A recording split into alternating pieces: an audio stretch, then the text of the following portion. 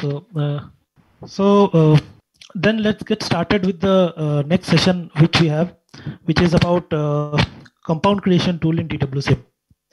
Now, one of the limitation of uh, DWSIM uh, with respect to this commercial tools is to is in terms of the compound database. Okay, so uh, basically Aspen Plus and you know this HYSYS and Pro2 uh, they they they do have a lot of compounds data compound database with them because you know they, they can buy the database and then they can use them and keep everything proprietary. But dwsim being an open source uh, you know uh, first of all it cannot uh, buy a database on its own and then make it open source because then that would be terms of i mean uh, violation of terms and policies of that particular company from whom they are buying, buying the database so what dwsim can only uh, give in terms of database is the open source database okay so whenever you see whenever you are uh, trying to add uh, start a new simulation in dwsim all that you can see is uh, all that you can see are uh, ChemSep components, component from Cool, uh, CoolProp database, and then some of the electrolytes. Okay. So other than that, uh, we don't have any other component database in DWSIM, and that's a, a limitation, I would say. But that doesn't mean that you know uh, if there is if, if if if a component which we want to use in our flow sheet or we want to use in our simulation, uh, uh, it doesn't mean that uh, we cannot add that or you know we cannot simulate that in DWSIM. So what I'm going to demonstrate right now is the compound creation tool that is available in DWSIM as to how you can uh, create or import your own compound from DWSIM. Okay, so uh, let me share my screen. So uh, what uh, Daniel has done in terms of uh, compound creation is uh, that he has he has kind of linked two or three online databases with DWSIM. Okay, so uh, there are about three online databases that, that are linked with DWSIM and I'm going to show you as to how you can import compounds using those online databases. Okay. Okay, so you see on uh, under the compound creator uh, wizard, you see something called as create new compound. So when I click on create new compound, uh, compound uh, compound creator window will open and this is something that I have. So it will ask me for the name of the compound, what it is, what is its Cas number, formula, then uh, molecular structure, uh, constant properties, and temperature dependent properties, things like this. Okay, so uh, ideally, if you have all this data with us, you know, if you have uh, got some uh, data from experimental source or something from a journal, we can directly import this data. I mean, we can directly input this data and then save the compound and use it in our simulation. But uh, that that doesn't happen quite often. Okay, so then how do we import? How do we create a compound which is not available in the database? So uh, first of all, let me just uh, show you the three different databases, online databases, which I was talking about that uh, Daniel has linked uh, in with DWSIM. Okay. So if you see under compound, there is an option called import data from online sources. And uh, when I click on that, I can see there are three options. Okay. One is uh, KDB thermo database. One is Chemeo database. And then the other is DDB UniFac ModFac, ModFac structure database. Okay. So there are about uh, three different uh, uh online databases that are linked to DWSIM. Now, coming to the first one, which is KDB database. This is a database by Korean company. Although this database has a lot of compounds, but actually uh, it doesn't have many important properties of those compounds. Okay, let's say uh, you take a compound and you can at max find the boiling point or you know melting point or enthalpy. That's all that you can find but not beyond that. So uh, i mean from my experience what i have seen is that uh, this kdb database is not much of use to me. I mean as far as the compounds that i have imported uh, i don't find too many thermodynamic properties associated with those compound so i don't use kdb database but nevertheless you can give it a try of uh, importing compound from kdb database. Now what i'm going to demonstrate to you is uh, the uh, remaining two which is chemeo database and then the ddb structure database. All right so uh, firstly, when I when I go to this uh, import data from online sources and then I click on uh, Chemeo database. Now, when I click on Chemeo database, you have this small pop-up which asks for import compound data from Chemeo online database, and then it asks for uh, either the name or Cas ID or formula of the uh, formula of the uh, particular compound which I want to add. Okay. So what I'll do is let's see. I mean. the compound that I'm going to add uh, today is this compound called isophorone. If you see this is a paper that I have from uh, Journal of Chemical and Engineering Data, which talks about VLE data of cyclohexanol and isophorone. Okay, and if I want to plot this VLE diagram of cyclohexanol and isophorone, uh, I don't have the I, I, I don't have the uh, compound in DWSIM. Okay, I do have cyclohexanol, but I don't have isophorone. So to if I want to plot the VLE data, then I'll have to import this compound isophorone. Okay, so what I'll do is uh, uh, I'll try to first uh, search the compound. Okay, as as you see as you see here that it is asking either for the name, Cas ID, or the uh, formula. Now I don't recommend searching using name or formula because you know uh, we might uh, enter a name called isophorone, but then in the database the compound might be with some other name. Okay, it might be with an IUPAC name. Then it, we, we will not get the desired compound.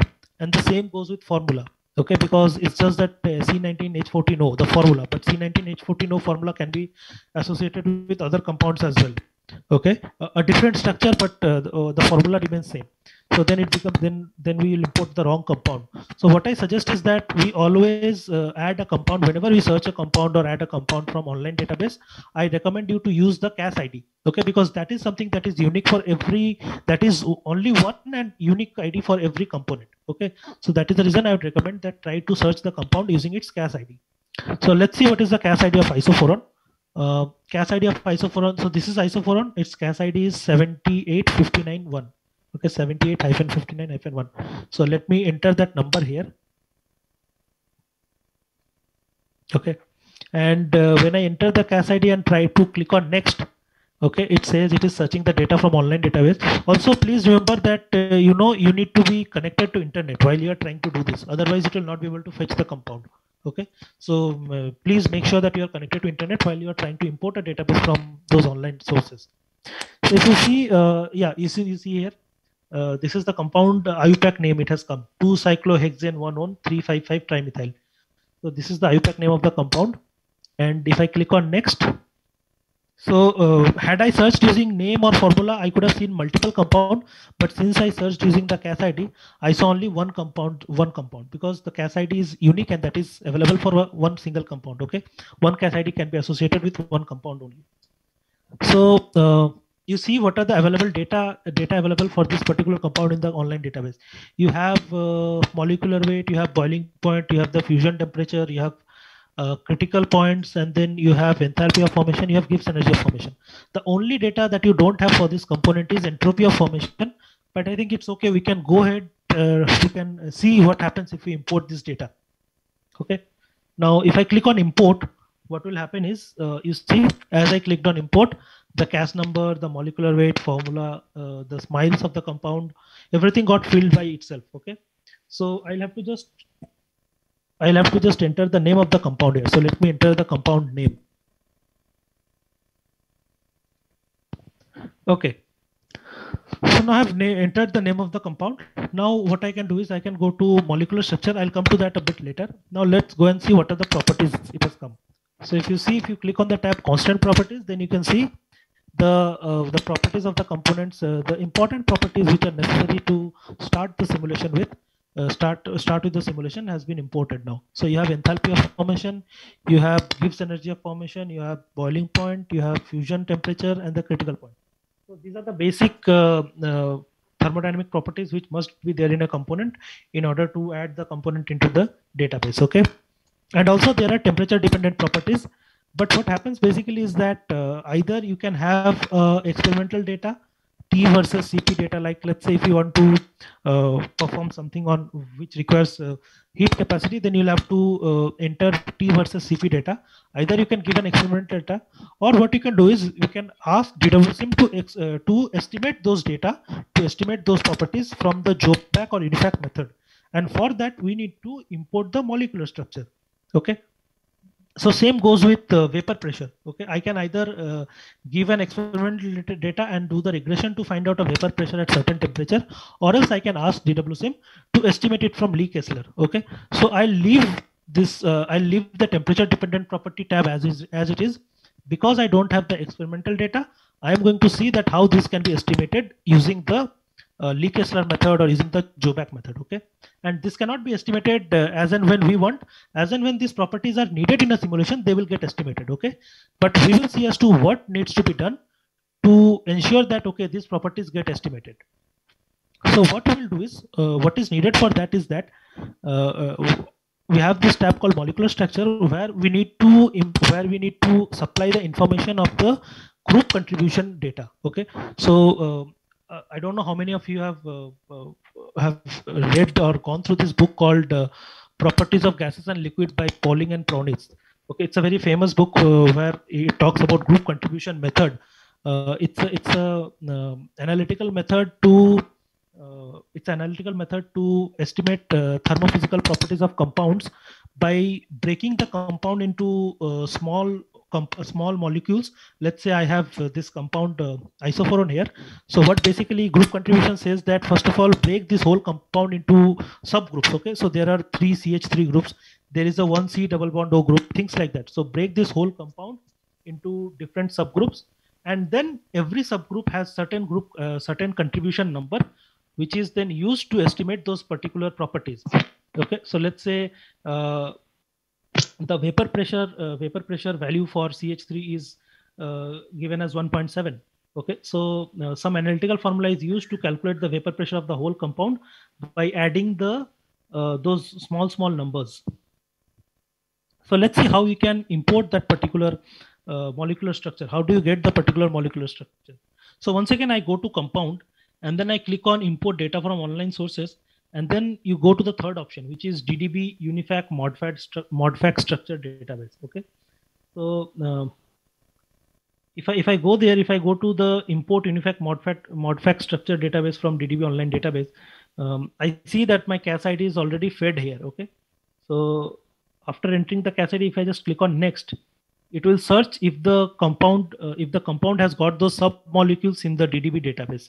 So you see uh, the compound has got the submolecules in the UNIFAC structure data and the modified UNIFAC Dortmund structure data. So I'll not import the modified UNIFAC Dortmund structure data. Uh, I'll just import uh, the UNIFAC structure data only. So if I uh, let it be here, let uh, this checkbox only be ticked the original UNIFAC structure data and I click on import. Okay. So as soon as I click on import, if you now go to the molecular structure and see you can find the UNIFAC data of that particular compound as to what are the different subgroups of that compound. What are the different subgroups present in the isophorone compound? So the isophorone compound has got uh, uh, three CH3 group, one CH2 group, one C, one CH2 double bond C group, and then uh, one CH2 CO group. Okay. The same can be done for, you know, we can do the same in modified UNIFAC we can do the same in uh, modified UNIFAC uh, NIST, and then we can do the same in Joback. Okay. So once that is done, once we uh, once we import the molecular structure of the compound, then what happens is that uh, during simulation, whenever uh, we want to, wherever uh, these data are required, the ideal gas capacity or the vapor pressure, this data would be automatically calculated at the background using this molecular structure that we just imported. Okay. I'm not saying that it is going to be entirely correct or entirely wrong, but what I'm I'm just saying you that this is a method to do it. Now, obviously, every simulation, whenever we do this kind of work, uh, it is necessary that we verify the data, verify the simulation result. We just can't blindly import the data and say that okay, we are done with our job because we have created the compound. No, we must verify our result with the experimental data especially in the cases where uh, we are you know trying to import this you know, we are when we are trying to import a new compound okay now, once you have done that, once you have got the uh, molecular structure, once you have got the properties, how do you save this compound and how do you import this compound in simulation? Okay, so what I'll do is, uh, once again, I click on compound and there are two options. One is export data to XML database and then uh, another is export data to JSON file. So I click on this option called export data to JSON file. Okay, uh, why I want to export the data to a JSON file because uh, uh, JSON, I mean, whenever I want to import a new compound in a simulation outside ChemSep database, uh, DWSim will, will ask me for a JSON file. So that is the reason I'm importing the compound as a JSON file. Okay. So let me save the file now as a JSON file. Okay. So I have uh, entered the name of the compound as isophorone. And then if I save the compound, my uh, JSON file will get saved. I can also save this file as a DWSIM uh, file. So how do I save this file, whole file? I can just, uh, so uh, just like how we save a simulation file as .dwxml file, we can save a compound file also as .dwcsd file. Okay. So let later, if you want to revisit this file and change some properties, or if you have got the experimental data and I want to input it once again in this compound, I can open that DWCSD file and uh, go and import, I mean, uh, input those data. Okay. So I'm, I'm saving the file right now as a compound creator study file and the file gets saved. Okay. So now let us uh, create a new simulation and see as to how this compound can be used in a simulation. Okay.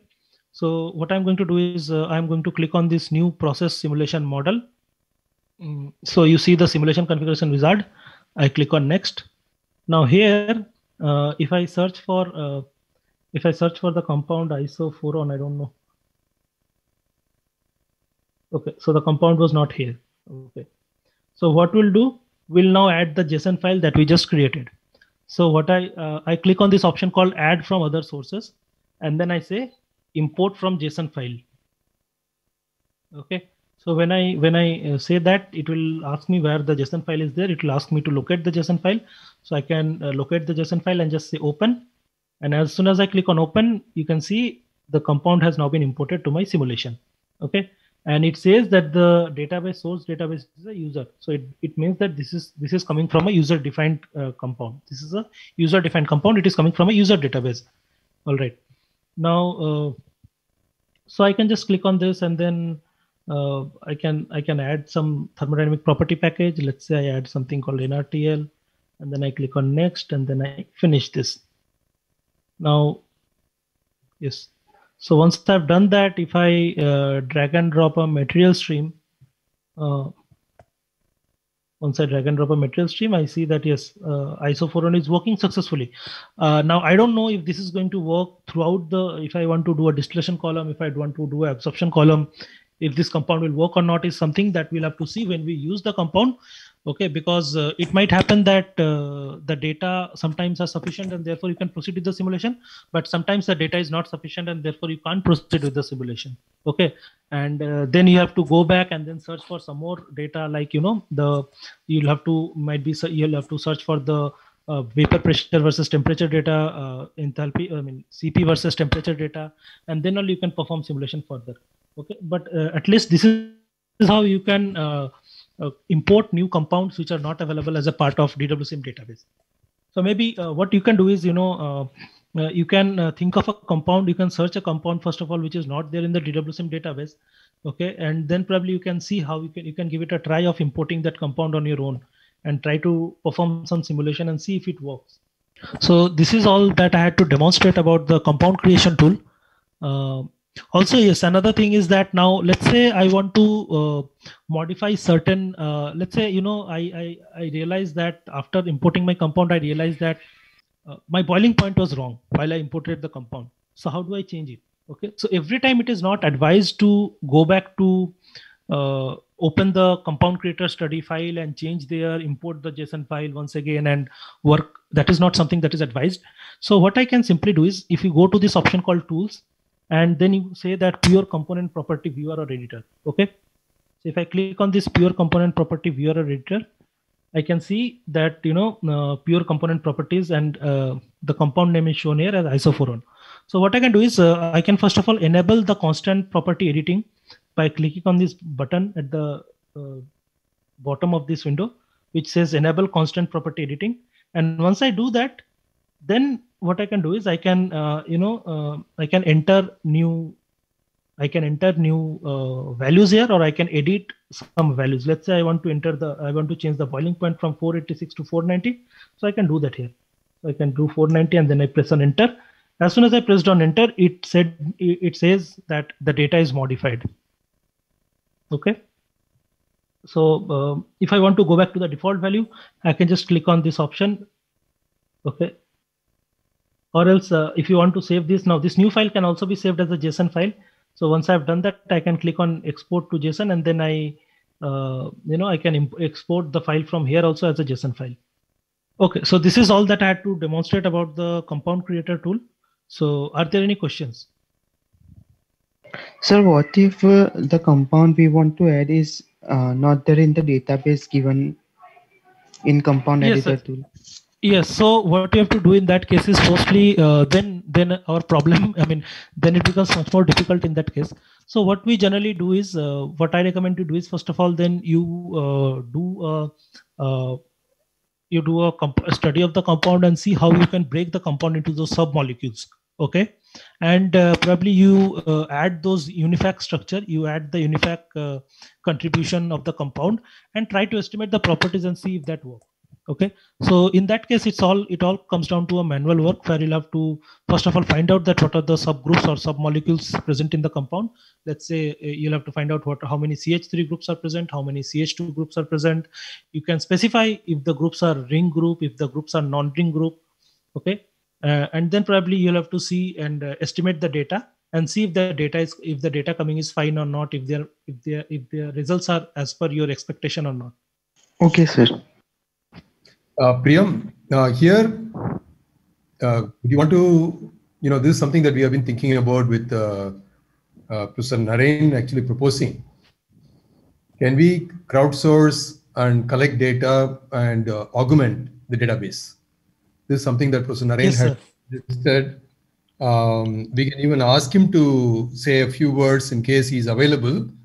Uh, but that will be something very interesting to the participants here. I don't see Naren sir here, so Yeah, he might even be uh, in transit, but uh, in case he is available, you can invite him to say a few words. yeah. Let But me if just you what he said, that is also okay. Try calling him. If he's not there, you uh, give your interpretation based on. I think you had a discussion with him about this. Yes, yes, yes. Yeah. Yeah. So let me just first see if I can get him. Yeah, just two minutes. You call him. If he's not there, you can uh, continue yourself. So uh, Naren sir is joining. Yeah. Yeah. So uh, I was just demonstrating. Uh, I was just I just gave a demonstration on the uh, compound creation tool in DWSim. Okay. and uh, Kannan sir brought up the topic that uh, he just said that you know we had a uh, idea that you know how we can uh, crowdsource this compound creation uh, work and how you can get along more how how you can bring more compounds to DWSim database. Okay. So he he just wanted you to come and just share your idea. I mean your thoughts on this as to how this can be done. Now that we have so many uh, academicians and students here. Okay. Okay. Okay. Yeah, that's fine. Naren, you Uh, mentioned, uh, we can do crowdsourcing. Uh, Okay. What what is it you had in mind? You can just uh, share your thoughts. Okay. Okay. Yeah. Um, so uh, now, eh, with your uh, experience of just uh, two days of DWSIM, you might have noticed that there are not all the compounds that one can aspire or one is looking for probably. So that means we need to create compounds. Now, this creation of compounds uh, is a simple activity, but then we need to make, uh, find the coefficients or the group, uh, uh, the interaction parameters, and then create this compound creation file. So one idea which I had uh, uh, suggested earlier to Professor Kannan is that now let's say uh, ethyl benzene is not available right? Somebody can offer to make this custom create compound file for ethyl benzene. Now once that is accepted it is same like anything uh, any other process flow sheeting or a textbook companion project. So uh, the participant has to raise the request so the FOSSEE team will check whether this compound is already available or not but if this compound is not available uh, then that means the request will be sanctioned and after this request is accepted uh, that particular student or a, uh, or, or, or a FOSSEE enthusiast, rather I will put, can create a, a custom compound file for ethyl benzene. You need to search for the appropriate thermodynamic or, or the model coefficients uh, from available literature, if those are available, and maybe at least any one or a few set of critical properties should be matched with your compound creation file. Now, this could be as simple as critical temperature, critical pressure, or something, or using this compound creation file, uh, you can check for the latent heat of vaporization uh, versus temperature data. If this is available as an experimental data in journal papers, then that can be compared with this uh, compound, new custom compound creation. And this can be submitted uh, as an FOSSEE uh, uh, project or as a FOSSEE activity. So that's, that's what. And because this is now FOSSEE activity, this compound creation file will be available for download for any person.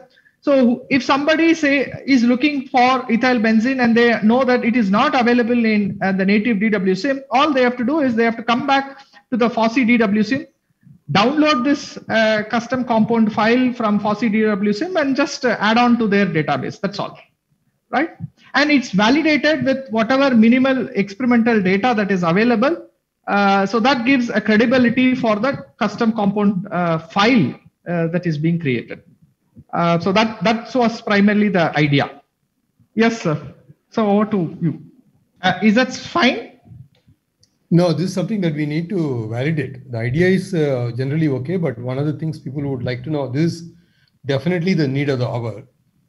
Uh, The thing is, if you know that a lot of data are available experimentally in ChemEng data and journals like that, yeah. Uh, um, if you have some uh, examples, then that is the first way. Uh, that's the way to get started.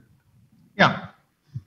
So the uh, as you rightly said, the Journal of Chemical Engineering Data has experimental data points, right? They may be the experimental uh, data points of pure component properties. I mean, they might have reported like densities, viscosities, latent heat of vaporization, so on and so forth.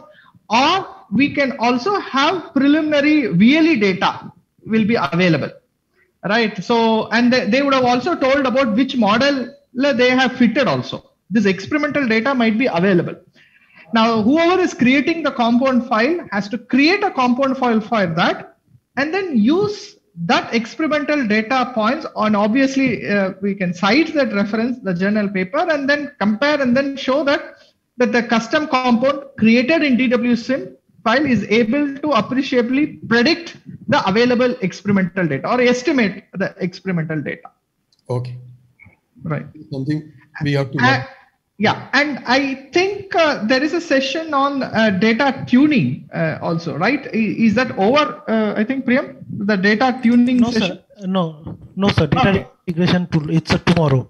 Yeah. So maybe then, if this data regression tool, uh, uh, I mean, the session is also over, then uh, obviously the participants who wants to create the compound file can make use of this tool, which is available already in DWSIM.